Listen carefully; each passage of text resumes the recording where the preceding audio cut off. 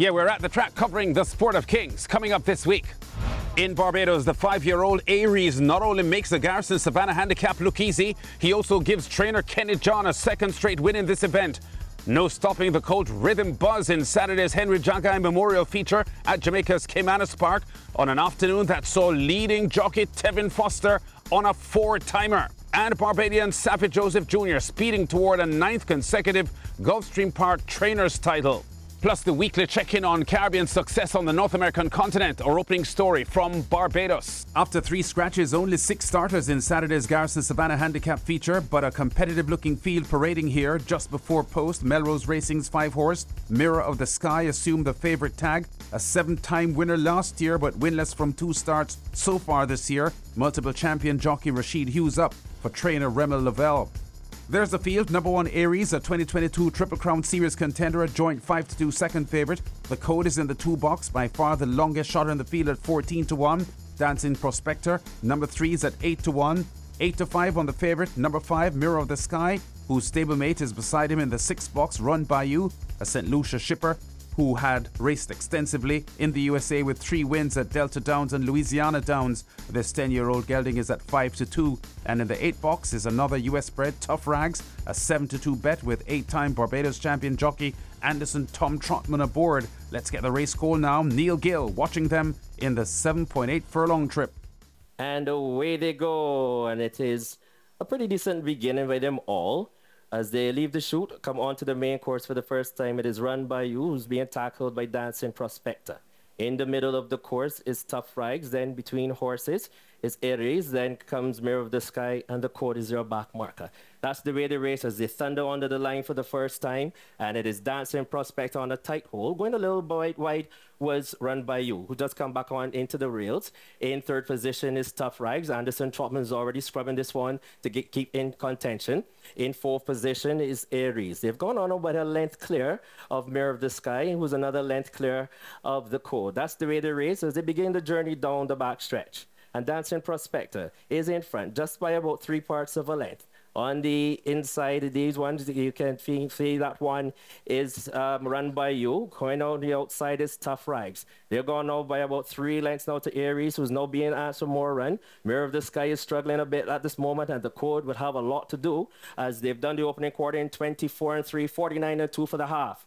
That's the way the race as they come to the quarter pole. And Tough Rags is the one who leads now, just by about three parts of a length. On the inside still is run by you, coming by you on the outside. Here goes Ares who sweeps on by. So there's Ares who's picking them up. Inside the final for them they come. And it's Ares in front by about a length. Two, three and it's widening now. Will win this one easily as he wishes. Ares wins it by about four, five lengths comfortably. Just two right hand cracks of the whip early in the home stretch, then just a hand ride from St. Lucian jockey Eric Daniel. Ares has no challengers in deep stretch. A fifth win in 19 lifetime starts this for Ares, who was second in the 2022 Barbados Derby to Triple Crown winner Hurricane. A second win in a row for trainer Kenneth John, this in the Garrison Savannah Handicap, having scored last year with Rapunzel's Dream. Margot Atkinson's Ares by six and a half lengths in the Garrison Savannah Handicap as a 5 to 2 bet, chased by the favourite Mirror of the Sky with Tough Rags third, 1 minute 35 and 3 fifths, the winning time for 7.8 furlongs on the Garrison turf. In Jamaica, Saturday's card was highlighted by the Henry Jaghai ODJP Trophy over six furlongs, honouring the former champion breeder and Hall of Fame inductee. 13 horses face the starter, including last year's champion three-year-old filly Mamma Mia, with Robert Halladine aboard, first out of the starting gates, but being hassled on the lead by KP Choice and Ultimate Machine. These three now abreast as they charge down the far side. Volatility is three lengths further back, overtaken by Rhythm Buzz. Wall Street Trader making progress on the outside. Rani Bangala races up with the band and take a punt. Taurus Boy runs the rail as they leave the half mile marker and make their way into that turn. Power racing on the outside of Punt. Taurus Boy has now been shuffled right back through the field, overtaken by Big Big Daddy as they charge past the three. Up front, The war continues. KP Choice. There is Wall Street Trader, the first time runner in Jamaica. In the red silks now coming through to grab that lead. Mamma Mia chasing on his outside, but they're into it now. A quarter of a mile to go. Wall Street Trader just the leader from KP Choice. Rhythm Buzz searching for room down against the rail and has to be switched to find it. Mamma Mia is trying to kick in on the outside. Wall Street Trader in between horses. Here is Rhythm Buzz now kicking in on the outside, and Rhythm Buzz points over the foreigner Wall Street Trader who is fighting right right back. It is Rhythm Buzz from Wall Street Trader. Rhythm Buzz will win it over Wall Street Trader. Brad Rickman on commentary. Pretty skillful ride this by Javanil Patterson, switching from off the rail into the three path for the win as the third favourite in the betting. The Piaget Stables Rhythm Buzz, two from two now in 2024, after his Bonnie Blue Flag Trophy win in late January for trainer Vincent Atkinson.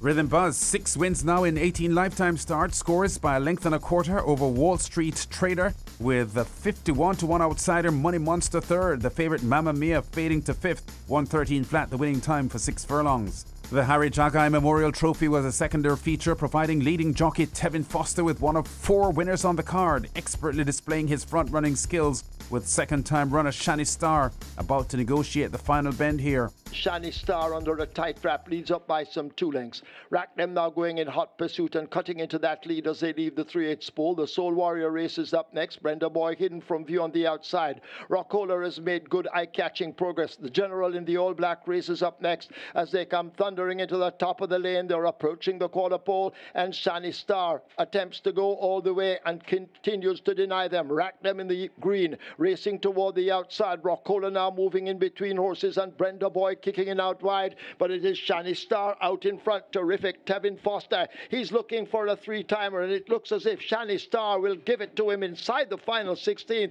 Shani Star is roaring away from them and will romp the Harry Jaghai Memorial Trophy, winning by maybe double digits. Informed Tevin Foster's second four timer in six weeks, having a quadruple as well on the 3rd of February. He also won the 5th, 6th, and 8th races on the card. He has not had a winless race day since late January, and with 30 wins already this season, leads the jockey's table by nine. Albert Barrett's Shani Star, as the 7 to 5 favourite, gets the job done in the Harry Jaghai maiden condition race for trainer Lawrence Fremantle, scoring by 8.5 lengths and stopping the clock at 122 and 1 5 for 6.5 furlongs. And finally, just over a week remaining in the Gulfstream Park Championship meet, and the Barbadian Saffie Joseph Jr. is closing in on a remarkable ninth consecutive trainer's title at the Florida racetrack. Four wins for the 37 year old Joseph since our last show, the richest of those coming in Saturday's maiden special weight 89,000 US dollar first race. His three horse Dilger not expected to win here at 9 to 1 odds, but with Tyler Gaffalione aboard, moving threateningly into third, watched in the com box by Pete Aiello. They run to the top of the stretch. Reynolds Channel certainly traveling the better of the two favorites at the 5 16th. Dilger launching an upset bid for Tyler Gaffalione. He's up into a joint second now. A quarter of a mile remains.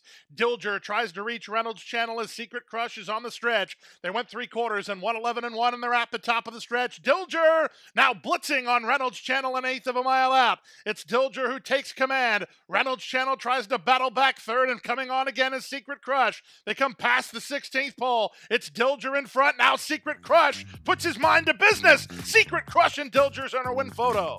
Fine ride by Tyler Gaffalione on the inside and the green cap. The narrow win here by a nose, fending off the late charge of the even money favourite Secret Crush with Irad Ortiz aboard. With over 2.4 million US dollars, Saffie Joseph currently on the top 10 trainers list in all of North America at number 8. Dilger with the upset win by a nose at 9 to 1 odds, clocking 136.94 for a mile for Saffie Joseph Jr., the Barbadian, with 60 wins at the Gulfstream Park Championship meet, which closes month end. He's an unbeatable 27 clear of top American trainer Todd Pletcher in the title race. And before we go, I can report that at Guyana's Kennard Memorial Turf Club over the weekend, the Canadian shipper Stolen Money, a multiple winner at Woodbine, captured the feature race. Our usual weekly tally of wins now for Caribbean men in the USA before we go. In the past week since our last show, I've counted 16 victories. Among them, the Barbadian jockey Rashawn Latchman with two wins at Charlestown. The Jamaican trainer Jason DaCosta had a double at Mahoning Valley on Monday. He also won on Tuesday. The veteran Jamaican jockey Barrington Wasp Harvey, he had a double on Saturday at Los Alamitos. And the Jamaican trainer Ron Crichton had wins over the weekend at Gulfstream Park and Tampa Bay Downs. We've been at the track covering top stories and exciting races in the sport of kings. Check us out again next week.